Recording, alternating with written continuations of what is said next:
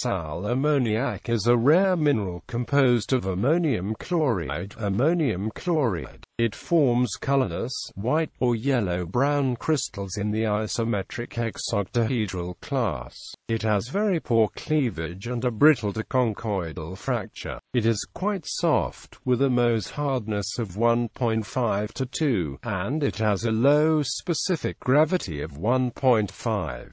It is water-soluble. Sal ammoniac is also the archaic name for the chemical compound ammonium chloride. The Romans called the ammonium chloride deposits that they collected from near the temple of Jupiter Ammon in ancient Libya sal ammoniacuses. Because of proximity to the nearby temple, salts of ammonia have been known from very early times. The term ammoniacus sal appears in the writings of Pliny, but it is not known whether the term is identical with the more modern sal ammoniac. In any case, that salt ultimately gave ammonia and ammonium compounds the name. It typically forms as encrustations formed by sublimation around volcanic vents and is found around volcanic fumaroles, guano deposits and burning coal seams.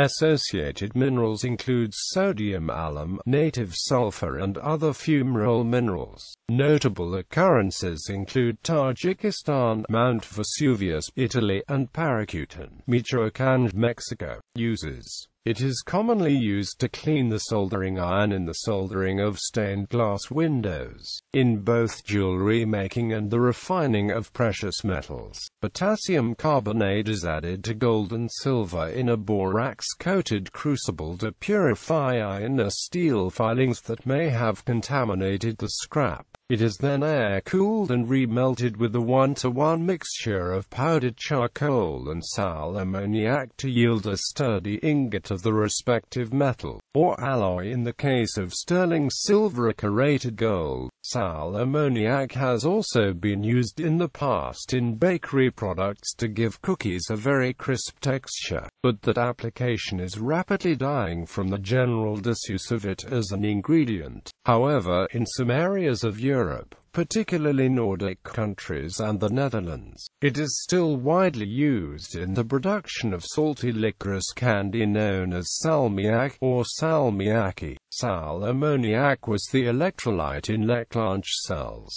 a forerunner of the dry battery. A carbon rod and a zinc rod cylinder formed the electrodes.